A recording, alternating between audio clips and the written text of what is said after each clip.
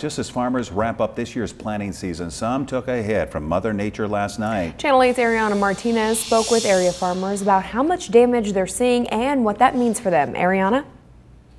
Yeah, I spent the time with a farmer out in Waverly today where some crops were hit harder than others. He talked about it really being a gamble and it truly depends on how much growth each crop had before lots of rain, wind, and hail. There's a a good chance that the taller corn that, that got shredded up will be hurt real bad. Tom Peterson grows both corn and soybeans near Waverly. Some of the fields are going to be gone, uh, ruined, and, and some of them are going to be set back hard.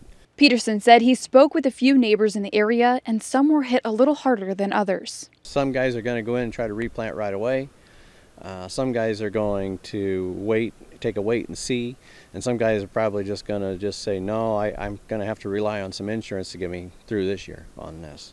Peterson is going to wait and see on some of his crops, but waiting is also a gamble. Seven to 10 days is going to put you to the end of June. All of a sudden, you're getting kind of the end of your window to try to plant anything corn wise. Another struggle for farmers is finding the seed to replant crops.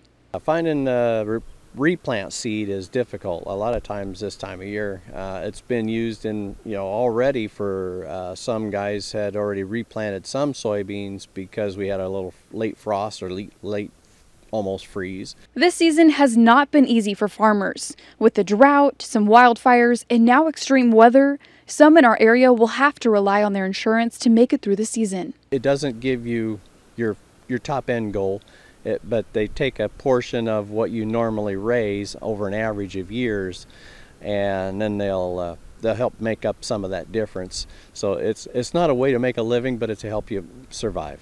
Even though we got a nice rain last night, farmers are hoping for a few more to get through the summer. Down deep underneath the ground where the roots go, uh, it's a little bit too dry and it doesn't have a deep soil moisture to be able to feed that crop over the summer by itself. So we're going to have to continue to get good rains throughout the summer. And Peterson told me today if farming was easy, everybody would do it. So I just wanted to take this time to thank our Nebraska farmers. Absolutely.